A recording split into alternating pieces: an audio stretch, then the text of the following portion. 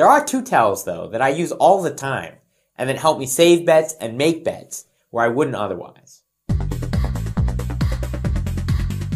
The first tell involves unsophisticated players, people who are new to the game. They generally spend their time thinking about what their hand might be.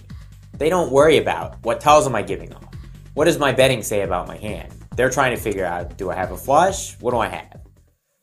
Against these players, their actions tend to be very readable, and they can tell you a lot about what they do have.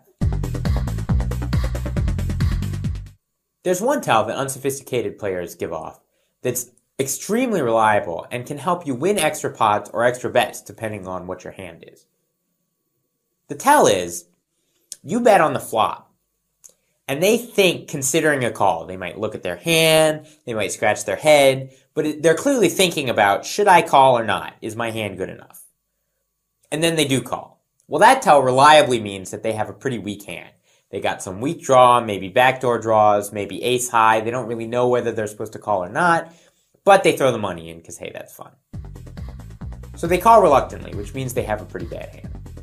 But then on the turn, when you bet, they call almost immediately. That means that the turn card helped them. They were worried about their hand on the flop, they weren't sure, but now all of a sudden they're quite sure that they belong in the pot. That's because the turn card improved their hand. Might have given them a draw, flush draw, straight draw. Maybe it gave them a pair. You're not sure exactly how it improved their hand, but you can be quite sure that it did.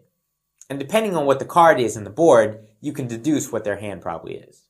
Here's one example. So one player limps to you and you raise on the button with pocket eights.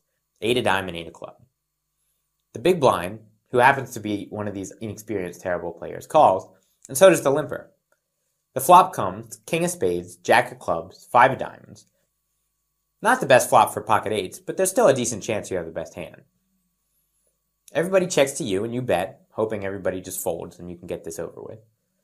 The big blind picks up his hand, looks at it, looks at the board, picks up some chips, thinks about calling, and then finally tosses his money in. Remember, he's an inexperienced player, so this isn't likely to be an act. He's looking at his hand and he's trying to figure out what he has and if it's worth calling with. The limper folds. The turn is the three of diamonds, so that puts two diamonds on board, but it's an undercard to the board. The big blind checks, you bet, and now he calls immediately. This is the tell. He had a bad hand on the flop, he wasn't sure whether he should have called or not, but now he's quite sure. So the three of diamonds had to have helped his hand. How, you don't know exactly. Did he pick up a flush draw? Maybe he's got a diamond draw now. Maybe he's got a three. Ace three, eight three. He's an unsophisticated player, so he may not know he should have folded eight three a long time ago. Maybe he's got a more exotic hand, like a gut shot draw, ace deuce or ace four. You're not sure exactly what he has, but you could be very sure that the three of diamonds helped his hand. That is, he certainly doesn't have a flop pair, a king, a jack, or a five. He's either got a three if he's got a pair, or he's got some kind of draw, diamond draw or gut shot. No matter what he has, you can be quite sure that your pocket eights are the best hand, and you can bet the river with confidence.